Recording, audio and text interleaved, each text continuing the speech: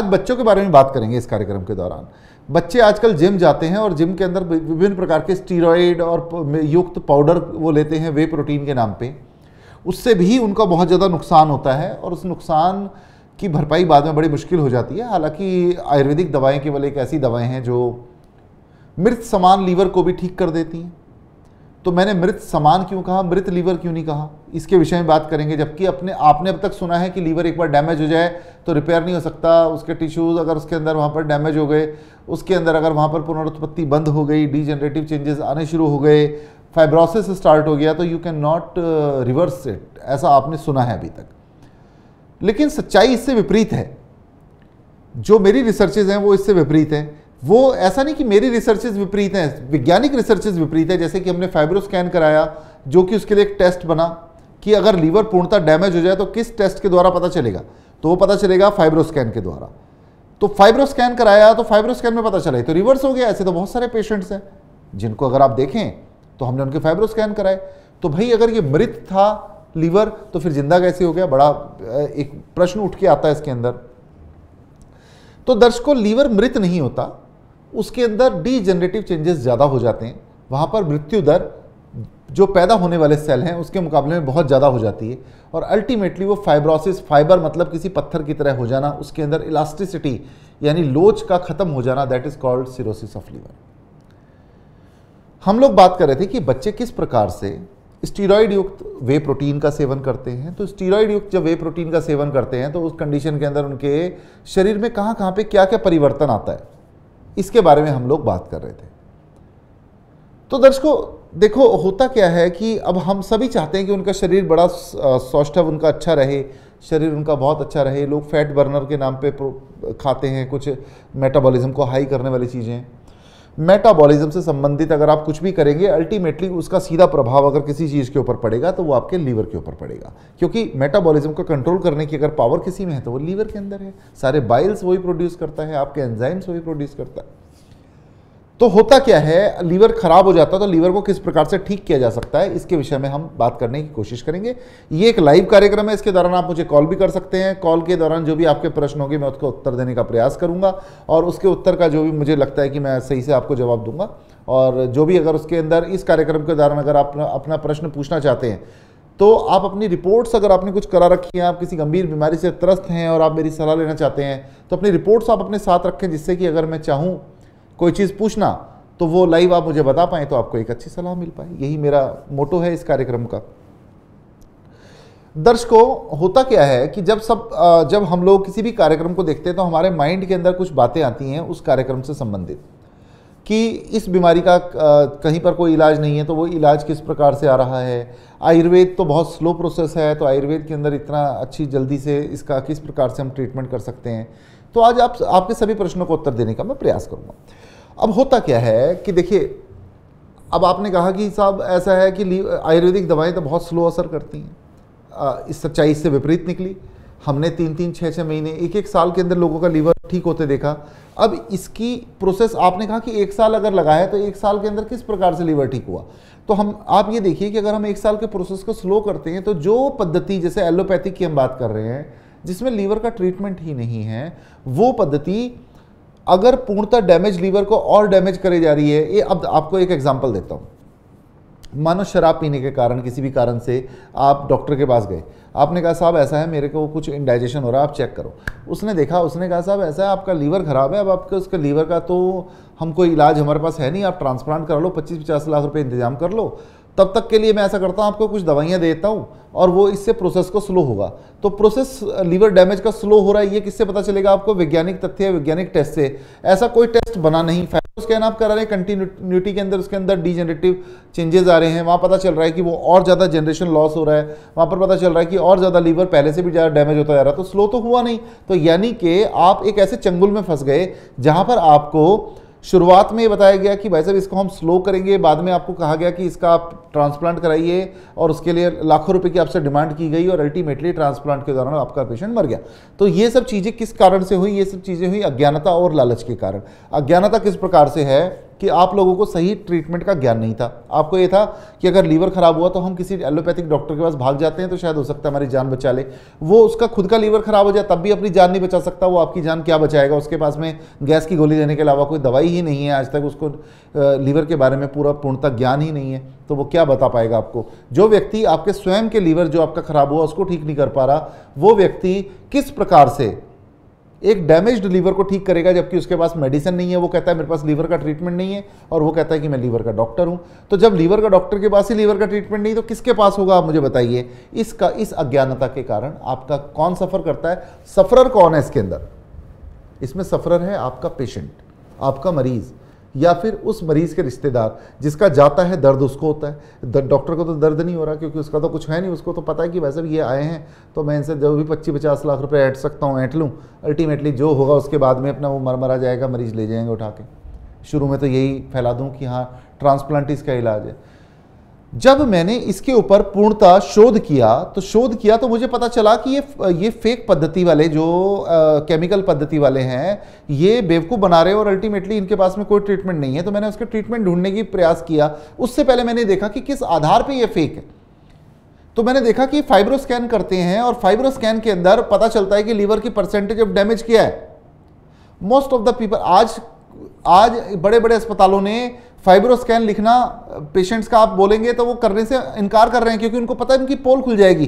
क्योंकि जैसे वो फाइब्रो स्कैन करेंगे और आप आयुर्वेदिक दवाइयाँ लेंगे तो आपको बीच का डिफरेंस पता चल जाएगा कि मेरा पेशेंट तो ठीक हो रहा है। तो जब वो ठीक होने की पद्धति का पता चल जाएगा तो उनसे कौन उससे ट्रीटमेंट कराएगा? वो पहले इन्वेसिव ट्रीटमेंट इन्वेसिव एक पद्धति होती थी, जिसको हम लोग कहते हैं बायोप्सी या निडल एस्पिरेशन साइटोलॉजी उसके द्वारा पता चलता था। कि भाई ये तो पेशेंट का लीवर इतना डैमेज है, अब इसके अंदर इतना फाइब्रोसिस है, इतना परसेंट फाइब्रोस अब उसकी जगह नॉन इन्वेसिव एक प्रोसीजर आ गया, उसको फाइब्रोस्कैन कहते हैं तो वो बड़ा ईजी है, वो it is something like an ultrasound तो you can go in a clinic आप वहाँ पर गए अच्छा ओपीडी प्रोसीजर है, कोई ऐसा नहीं एडमिशन है, कुछ है। आप गए, आपने हाथ की हाथी कराया within five minutes you can get your report आपकी लीवर की स्थिति क्या है, आपको सारा पता चल जाएगा। तो इस तरह की जब जब चीज़ों का जब हमने अपने आयुर्वेद के साथ संलग्न किया कि क्यों ना दवा जो हम दे रहे हैं, उसके साथ में इन वैज्ञानिक चीज़ों को भी साथ में जोड़ा जाए, ये किसी पद्धति की नहीं है। डायग्नोसिस न्यूट्रल होती है। अगर आपको बुखार है थर्मामीटर अगर आपको लगाया जा रहा है तो ऐसा नहीं कि थर्मामीटर किसी पद्धति से संबंधित है। आप उसके लिए क्या इलाज कर रहे हैं? आप उसके लिए, आप किसी प्रकार की कोई एलोपैथिक केमिकल युक्त गोली ले रहे हैं, या फिर आप उसके लिए कोई नेचुरल एक अच्छा जो आपके शरीर के लिए सौम्य चीज़ है आप उसको ले रहे हैं। ये ये पद्धति में डिफरेंस करता है कि आपने केमिकल खाया या आपने नेचुरल प्रोडक्ट्स खा के अपने आप को ठीक किया। कंसर्न दोनों का एक है कि आपको ठीक करना केमिकल युक्त गोलियों के साइड इफ़ेक्ट हैं। केमिकल आपके शरीर में जाके सौ तरह के हार्म करता है और बीमारी को ठीक भी नहीं करता है। एक कॉलर जुड़े हैं बात करते हैं। हेलो हेलो हाँ जी। हाँ सर नमस्कार। नमस्कार। सर हम रोहतक से बोल रहे हैं। हाँ हाँ बोलिए जी। हमारा नाम सर राम कुमार है। हाँ हाँ। हम अपनी वाइफ के बारे में पूछना चाहते हैं। हाँ पूछिए। सर उनके रा, रात में ना खाना जब खाते हैं तो खाना पचता नहीं है। ओहो तो उनका लीवर वगैरह वज़न ज़्यादा तो नहीं है आपकी वाइफ का? हाँ थोड़ा वज़न ज़्यादा है सर। डॉक्टर को दिखाया ये, तो ये तो देखो ये तो देखो लीवर बता रहे हूँ हम्म लीवर फैटी के लक्षण हैं। इससे पहले कभी उनको कोई परेशानी हुई है इस तरह की लीवर हाँ थोड़ा बहुत पहले ना पेट में दर्द होता था पहले। एक एक हफ़्ते एक हफ़्ते पहले पेट में स्टार्ट हुआ था धीरे धीरे तो हमने डॉक्टर को दिखाया तो थोड़ा और बढ़ने लग गया पता नहीं कौन सी मेडिसिन दी थी उनने। यही तो मैं भी आपको समझा रहा था सभी दर्शकों को कि देखो ये एलोपैथिक केमिकल युक्त गोलियाँ तो आपको नुकसान ही करने वाली हैं। आप ये बताइए कि आपने इससे पहले कभी अपने लीवर का ट्रीटमेंट अपनी वाइफ का करवाया है क्या? नहीं सर ऐसा तो कुछ नहीं कराया है। नहीं कराया कोई बात नहीं। अचानक पेट में दर्द स्टार्ट हुआ तो हम डॉक्टर को दिखाया आपने अल्ट्रासाउंड करा लिया अपनी वाइफ का? नहीं सर ऐसा भी कर, अभी स्टार्ट नहीं करा अल्ट्रासाउंड का। अल्ट्रासाउंड तो एक करा लो यार अल्ट्रासाउंड में कम से कम ये तो पता चले कि लीवर क्या को फैटी है क्या है नहीं है।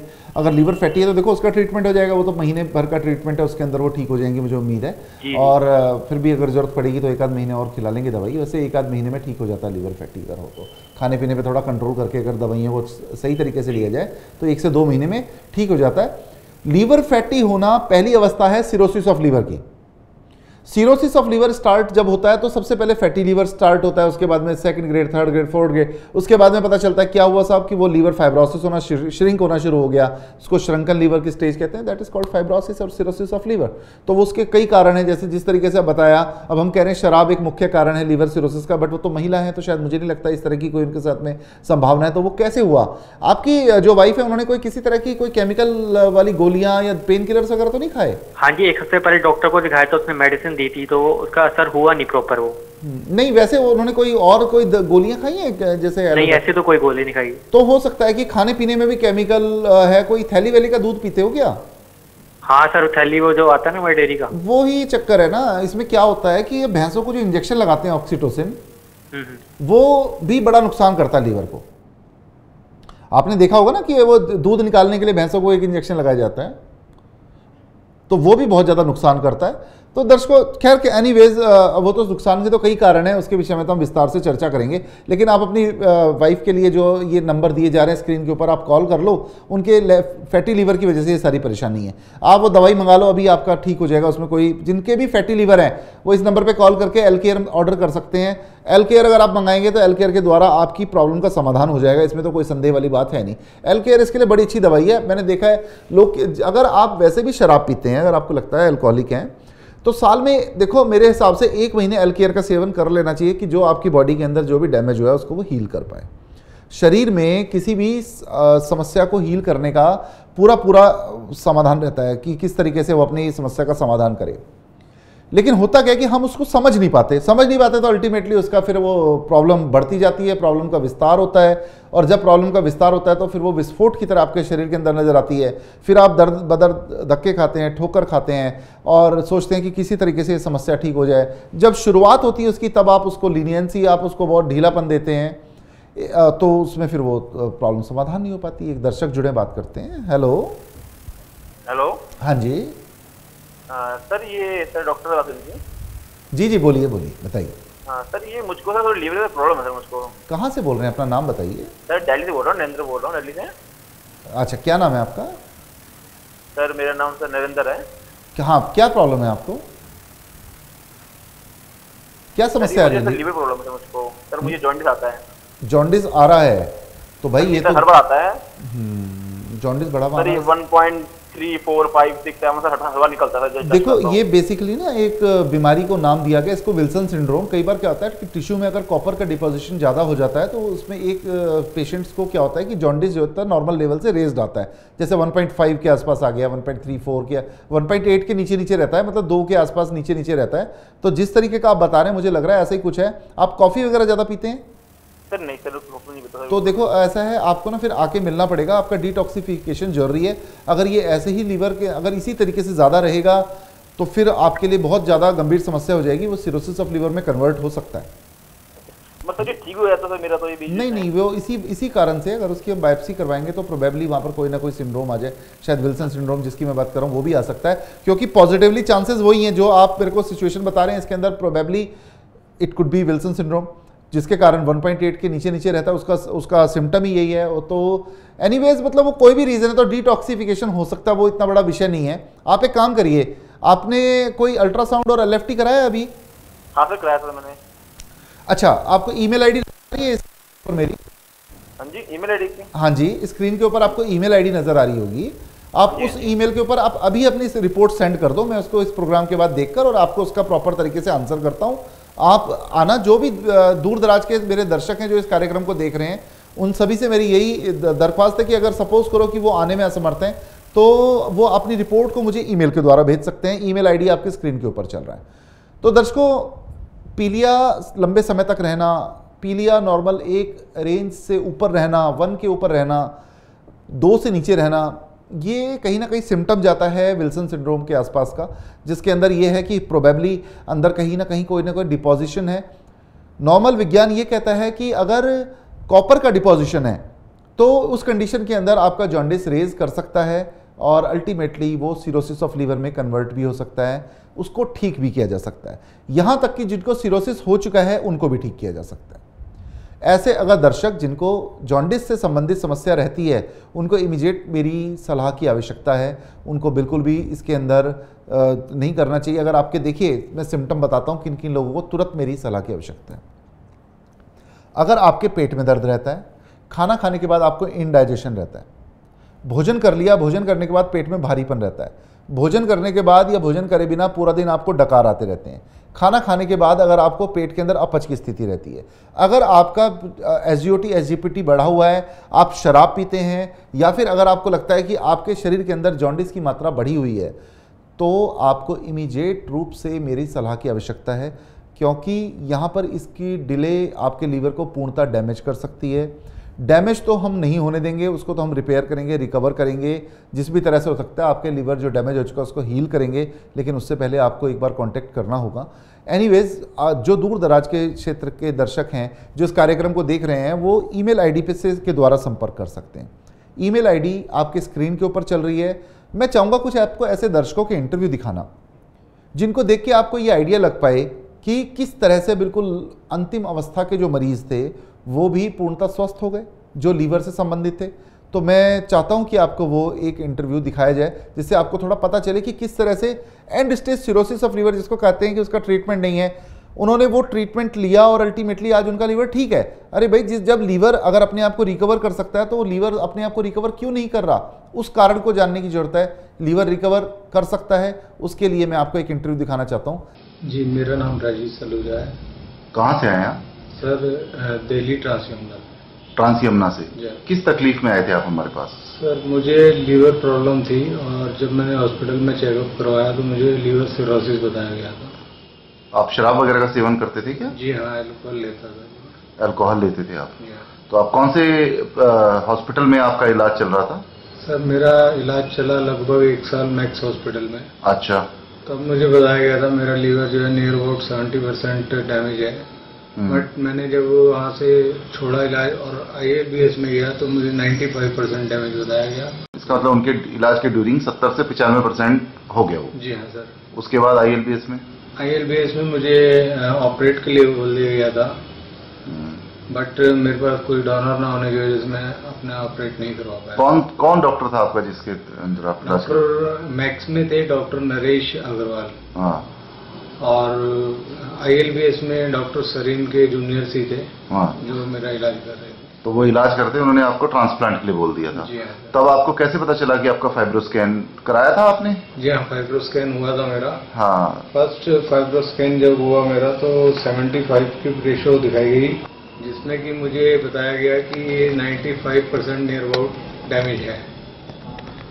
हम्म, काफ़ी स्टिफनेस है पूरा फ्लैट ही हुआ हुआ जी है हाँ फ्लैट था बिल्कुल। हम्म, तो आपने जब 95 परसेंट लीवर डैमेज था उसके बाद में आपने हाँ, आपने हमारे यहाँ ट्रीटमेंट शुरू कराया। तो हमारे ट्रीटमेंट शुरू कराने से पहले आपकी स्थिति क्या थी? आपके पेट में पानी भरना और ये सब? मेरी स्थिति ये थी सर कि मेरे से प्रॉपर तरीके से बात भी नहीं की जा रही थी। मेरा मेंटल थोड़ा अपसेट माइंड हो चुका था और मेरे पेट में पानी था और पैरों में स्वेलिंग भी थी काफ़ी। देन मैं एक बार टीवी देख रहा था तो वृंदा चैनल देखने पर मुझे आपके बारे में पता लगा। लास्ट ऑप्शन देखकर मैं यहाँ आया था तो मैंने पंद्रह दिन की पहले दवाई करी तो मैंने दोबारा वाइब्रो स्कैन करवाया एक महीने के बाद। अपने दिल की तसल्ली के लिए। हम्म, उसी दौरान मेरा फाइब्रो स्कैन जो है 56.8 आ गया था। ये 56.8 आ गया। जी हाँ। अच्छा। उसके बाद मैं लगभग दो तीन महीने तक नॉर्मली दवाई लेता रहा और जो प्रिकॉशंस थी उन प्रिकॉशंस के साथ चलता रहा। तो मैंने दोबारा फाइब्रो स्कैन करवाया तो 54.2 परसेंट आया था। अच्छा मतलब उसके बाद में अगले दो महीने में आपको बहुत ज़्यादा उसमें इम्प्रूवमेंट लेकिन शुरू में तो काफ़ी अच्छी आ गई। हाँ शुरू में एकदम काफ़ी अच्छी इम्प्रूवमेंट मिली थी मुझे। दो महीने के गैप में मुझे इम्प्रूवमेंट मिली नहीं बट जब देखा कि ये रिज़ल्ट में भी सही नहीं है तो मुझे पता लगा एयरबेस की फाइब्रो स्कैन करने वाली मशीन ही ठीक नहीं है। अच्छा इसी कारण से इसके अंदर इम्प्रूवमेंट वाले रिज़ल्ट। नहीं आ पाए उसके बाद मैंने गंगाराम से दोबारा करवाया था जिस उन दिनों में फाइनेंशियली थोड़ा प्रॉब्लम होने की वजह से मैं वो रिपोर्ट उनसे कलेक्ट नहीं कर पाया था। हम्म, उस रिपोर्ट में मेरा 48 पॉइंट कुछ था। ओके उसके बाद लास्ट मंथ मैंने ये ट्रीटमेंट करवाया ये दोबारा करवाया है फैब्रोस्क्रैन तो मेरा 33 पॉइंट आ गया है। मतलब अगर हम स्टेजेस के अंदर देखें तो ये 33 पहुँच चुका है जी आपका हाँ राइट इससे पहले कि 48.5 आपका हुआ वो आपने बताया कि वो आप कलेक्ट ही नहीं कर पाए रिपोर्ट किसी कारण से भी हाँ। चाहे फाइनेंशियल प्रॉब्लम या जो भी वट कुछ भी था आपका उसकी वजह से आप ये नहीं कर पाए। पर ये स्टेजेस के अंदर देखें तो आपका 100 परसेंट से घटते घटते आज ये आपका लीवर 30 परसेंट से भी नीचे डैमेज रह चुका है। यानी कि 70 परसेंट आपका लीवर हील हो चुका है। जबकि आप मैक्स में आईएलबीएस में गए जहाँ पर ट्रीटमेंट कराते कराते आपका लीवर 100 परसेंट ही डैमेज हो चुका। शुरू से ही हाँ 95 या 100 कम ये तो इतना नहीं है। लेकिन इतना होने के बाद में अल्टीमेटली जब आपको रिज़ल्ट नहीं मिला तो फिर आप मेरे पास में आए। तब आपको उन लोगों ने यही बहकाया था कि आपका जो लीवर तो ट्रांसप्लांट ही होगा इसका वर्ल्ड में कोई इलाज नहीं है? जी हाँ मैंने एक डॉक्टर से डिस्कस करना चाहा था कि क्या आयुर्वेद में भी इसका इलाज है या नहीं है। उन्होंने बोला था आयुर्वेद में इसका कोई इलाज नहीं है बल्कि इसके गलत सिम्टम्स आयुर्वेद की दवाई लेने से हो सकते हैं। अच्छा वो कौन सा थे? सर नाम तो मुझे मालूम नहीं है। कहाँ के डॉक्टर थे वो? मैक्स हॉस्पिटल के लिए। मतलब वो आयुर्वेद की बुराई कर रहे थे जी। कुल मिला के मूल मंत्री है। बट मेरे को इस आयुर्वेद पे ही पूरा फेथ हो चुका। बिलीव कर चुका हूँ मैं कि इस पैथी में ही इसका इलाज है और किसी पैथी में इसका कोई इलाज नहीं है। ठीक है अब आपको कोई किसी तरह की कॉम्प्लिकेशन जैसी पहले आप आए थे तब वैसी कुछ ऐसी परेशानी तो अब आपको कोई नहीं है ना? जी परेशानी कुछ नहीं है बट थोड़ा बहुत जो अभी खाने के लिए मना कर रखा है प्रिकॉशंस जो हैं वो मैं पूछ के ही गाना शुरू करूँगा उसके बाद अगर वो मुझे पचा तो मैं रेगुलरली लेता रहूँगा। अगर प्रिकॉशन बस आपने इसका मतलब आप ये कहना चाह रहे हैं कि आप पूरा परहेज कर रहे हैं और परहेज आप अपना कंटिन्यू रखेंगे। हाँ। और मुझे लगता है कि आपको अपना परहेज कंटिन्यू रखना चाहिए जिससे कि धीरे धीरे करके क्योंकि खाने का भी उतना ही महत्व है जितना महत्व आपके जीवन में दवाइयों का हो। बिल्कुल। तो आप अपने खाने के जो सिस्टम है उसको आप मेरे से पूछ कर धीरे धीरे करके करिएगा। और भगवान ने चाहा तो जो ये आपका सत्तर परसेंट लीवर तो ठीक हो चुका है तीस परसेंट भी जल्दी ही से जल्दी हो जाएगा। इसी चीज़ की हम आपको शुभकामनाएँ हमारी आपके साथ में। बहुत बहुत। आपका धन्यवाद। मैं इस संस्था का डॉक्टर साहब का बहुत बहुत आभारी हूँ जिन्होंने मुझे इस मुश्किल घड़ी से इस मुश्किल बीमारी से बाहर निकाला। और मैं लोगों से अपील करूँगा कि एलोपैथिक में इसका कोई इलाज नहीं है। अगर हो सके, समय रहते, समय से पहले ही आयुर्वेद पर बिलीव कर सके तो करिए। तो दर्शकों, देखा आपने, अंतिम अवस्था के मरीजों को ठीक होते हुए। लोग कहते हैं कि इस बीमारी का सिरोसिस ऑफ़ लीवर हो गया ट्रीटमेंट नहीं है। ट्रीटमेंट नहीं है तो ये पेशेंट कैसे ठीक हो रहे हैं? इसका मतलब कहीं ना कहीं ट्रीटमेंट में नहीं, आपकी नीयत में खोट है। आप चाहते नहीं कि पेशेंट ठीक हो, आपको इसका मतलब कहीं ना कहीं पर ट्रीटमेंट के नाम पे एक हवा बना के, बीमारी के नाम पे एक हवा बना के, कहीं ना कहीं पर पेशेंट्स को देखो सरप्रेस किया जा रहा है। ये बड़ी कड़वी सच्चाई है। लेकिन मैं इस कार्यक्रम के माध्यम से सबको ये बताना चाहता हूँ कि अगर आपका शराब पी के अंतिम अवस्था में लीवर खराब हो गया है और लीवर पूर्णतः खराब हो चुका है तो उसको वहाँ से भी ठीक किया जा सकता है। आप प्रयास तो करिए। यहाँ पर आवश्यकता आपके प्रयास की यहाँ पर डॉक्टर का योगदान जितना था, मेरा योगदान जो था, मैंने दिया। मेरा काम था आपको बताने का। मैंने इंटरव्यू दिखाया आपको दिखाया कि किस तरह से बिल्कुल अंतिम अवस्था के मरीज़ ठीक हो सकते हैं। अब इसके बाद के चरण के अंदर आपको देखना है कि किस तरह से आप अपने पेशेंट को जितनी जल्दी हो सकता है आप मेरे उसको क्लिनिक पर लेके आके उसका ट्रीटमेंट शुरू करा सकते हैं। एक दर्शक जुड़े बात करते हैं। हेलो हेलो हाँ जी। सर नमस्कार। नमस्ते जी। सर नीलू बात कर रही हूँ बरेली से। हाँ हाँ बोलिए जी। जी सर मुझे पूछना था आजकल सर मुझे ना भूख नहीं लग रही है बिल्कुल भी। अगर खाना सामने आता है तो मन नहीं करता है मतलब भूख अंदर से लग नहीं रही है। हम्म आपकी उम्र क्या है नीलू जी? उम्र बाईस साल। ओ तो इसका मतलब है कि आप तो फिर क्या इनडाइजेशन हो गई ये तो आपको उम्र तो बहुत ज़्यादा नहीं है आपकी। तो उस हिसाब से तो वैसे बच्चों को ऐसी समस्या होती रहती है। आपका कोई खाने पीने का अपसेट है क्या टाइम टाइम सर ऐसा होता है कि सर नाइट में थोड़ा लेट हो जाता है खाने का। हम्म। तो अगर वैसे तो मैं सर बहुत दिन से खाना खा ही नहीं पा रही हूँ। खाना क्यों नहीं खा खाना तो खाना चाहिए। देखो ऐसा है आप ना खाने का मोड चेंज कर दो। जैसे अभी आप अगर कुछ भी खाते हैं तो आप उसमें तला वाला अगर ऐसा कुछ भी खाते हैं तो आप उसको सिंपल के ऊपर लेके आ जाओ। तो मुझे लगता है कि आपकी प्रॉब्लम का समाधान हो जाएगा। आपको इंडाइजेशन इससे पहले भी हुआ कॉन्स्टिपेशन भी रहता है क्या आपको? नहीं ऐसा तो कुछ नहीं है। अच्छा सिर्फ़ इंडाइजेशन रहता है ना आपको? जी जी। तो देखो आप ज़्यादा तला पका तो नहीं खाती हैं? हाँ हो जाता है थोड़ा। हाँ तो वो एक कारण हो सकता है कि क्योंकि क्या है कि कई बार जो तेल वगैरह होते हैं, उनके अंदर तेल में कुछ ऐसी चीज़ होती है, बाज़ार का तला हुआ खा लिया तो उनके तेल भी कई बार बहुत ज़्यादा गंदे होते हैं। तो उसकी वजह से और फिर प्लस किस तरीके का तेल का इस्तेमाल किया जा रहा है, वो शरीर में जाके कुछ विभिन्न प्रकार की समस्याएँ पैदा करता है। लेकिन इन डाइजेशन को हल्के में मत लेना आप, ये बता रहा हूँ मैं आपको। इन डाइजेशन का इमीडिएटली आपने इलाज कराना है, जितनी जल्दी हो सके। कारण ये है कि इन डाइजेशन के लिए लोग क्या करते हैं? डाइजेस्टिव पिल्स का प्रयोग करते हैं। अगर आप एलोपैथिक डॉक्टर के पास गए, आपने उसने उठा के आपको गैस की दवाई दे दी कि लो जी, आप ये खाते रहो, अल्सर हो सकता है उससे पेट के अंदर। इन डाइजेशन का नेचुरल ट्रीटमेंट आयुर्वेदिक ट्रीटमेंट होना चाहिए। उसके लिए आपको भोजन का मॉड चेंज करना पड़ेगा। अगर आप खाने पे हैं तो कुछ दिनों के लिए फलाहार पे रहना पड़ेगा। उसके लिए आपको आयुर्वेदिक दवाइयाँ लेनी पड़ेंगी। लेकिन इन डाइजेशन को हल्के में बिल्कुल मत लेना। जो भी लोग जिनका पेट में तनाव रहता है खाना खाने के बाद गैस बन जाती है। अगर इस तरह की किसी भी समस्या से पीड़ित हैं तो वो एल केयर का प्रयोग कर सकते हैं। एल केयर मंगाने के लिए नंबर आपकी स्क्रीन पे चल रहा है। आपको डकार आती है, आपके पेट के अंदर भारीपन रहता है तो आप एल केयर मंगाइए। अगर आप मुझसे मिलना चाहते हैं, अगर अपनी रिपोर्ट्स दिखा के अगर दवाई लेना चाहते हैं तो भी आपको ये आवश्यक। अब देखिए, कई चीज़ें क्या है, मैं क्यों कहता हूँ कि आप एल केयर ले लीजिए, उसका रीज़न क्या है? कुछ चीज़ों को आप अब ऐसा मान के चलो, अब किसी को पोलियो की ड्रॉप पिलाई जा रही है तो उसको पोलियो हो थोड़ी ना गया है। कुछ चीज़ें प्रिवेंशन के लिए यूज़ की जाती हैं, जिससे कि आप प्रिवेंटिव रहें, अल्टीमेटली वो डिज़ीज़ ही आपको ना हो। जैसे अब आपको पता है कि अल्कोहल ले रहे हैं, अगर आपको तो आप तला पका ले रहे हैं तो आपके लीवर में खराबी हो सकती है। तो उस कंडीशन के अंदर आपको कुछ ना कुछ ऐसा सपोर्टिव ट्रीटमेंट नेचुरल ट्रीटमेंट चाहिए, जो आपके शरीर के अंदर उन कमियों को दूर करे और अल्टीमेटली आपकी शरीर का जो प्रक्रिया है काम करने की, जो उसका एक प्रोसीजर है काम का, उसको वो ठीक कर पाए। जैसे अभी नीलू जी ने बताया कि उनका वो खाना पीना अपसेट रहता है, तेल वेल अपसेट रहता है तो कहीं ना कहीं पर उनके शरीर के अंदर कोई समस्या डेवलप हो रही है। अब वो रिपोर्ट्स में भी कई बार आती, कई बार नहीं आती। ये विज्ञान अभी उतना उन्नत विज्ञान नहीं कि आपकी और ज़्यादा बारीक समस्याओं को समझ पाए। ये लेबोरेटरी उतनी उन्नत लेबोरेटरी नहीं है कि वो आपके पेट के दर्द को बता पाए कि दर्द क्यों है। कई बार गैस के कारण पेट में दर्द है, वो किसी टेस्ट के अंदर ही नहीं आता। तो इसका मतलब क्या मानेंगे कि वो दर्द है कि नहीं है? अल्टीमेटली आपकी घर के अंदर आप अजवाइन खाते हैं, कुछ भी करते हैं, आप गैस का इलाज करते हैं, उसके बाद वो दर्द ठीक होता है ना? जबकि वो किसी अल्ट्रासाउंड के अंदर नहीं आ रहा तो क्या इसका मतलब हम ये मानेंगे कि वो उस दर्द का कोई अस्तित्व ही नहीं है?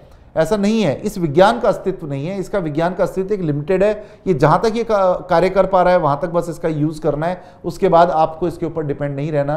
नहीं तो आप धोखा खा सकते हैं। इस विज्ञान के धोखे में आपको नहीं रहना है। आपको एक नेचुरल विज्ञान की ज़रूरत है जो आपके शरीर के तंत्र को ठीक करे, आपके शरीर की प्रक्रिया को ठीक करे। तो आप नीलू जी एल केयर मंगा लीजिए। नंबर आपको स्क्रीन पर नज़र आ रहे हैं। लगता संपर्क नहीं है।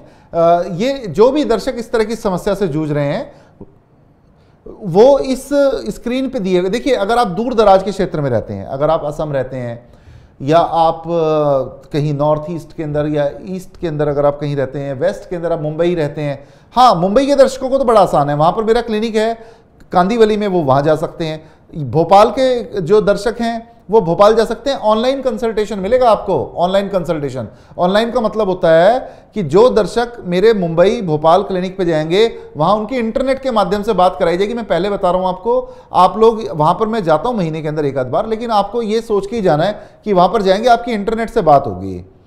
तो इस तरीके से कर कर आप लोगों ने अपने जो भी रिपोर्ट्स हैं, वो मुझे ऑनलाइन भेजनी है, या अगर आपके नज़दीक में मुंबई या भोपाल पड़ता है तो आपने वहाँ जाना है। दर्शकों, नए कार्यक्रम में अलग विषयों के साथ मिलेंगे आपको और फिर उसके हिसाब से जो भी होगा आपको सजेशंस देंगे। आप कोशिश करिए कि जितनी जल्दी हो सकता है, आप अपनी रिपोर्ट्स मुझे भेजकर मुझे मिलें। नमस्कार।